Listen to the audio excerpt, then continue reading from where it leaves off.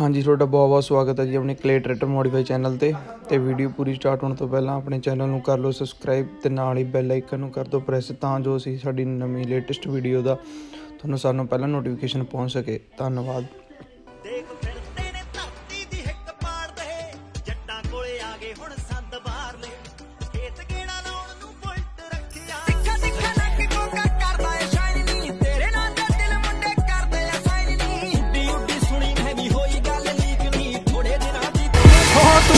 ਦੀ ਗੱਲ ਕਰਦੀ ਐ ਉਹ ਸਾਡੇ ਇਸ਼ਾਰਿਆਂ ਤੇ ਚੱਲਦੇ ਆ। ਸੁਭਾਅ ਮੇਰੇ ਦਾ ਪਤਾ ਉਹਨਾਂ ਨੂੰ।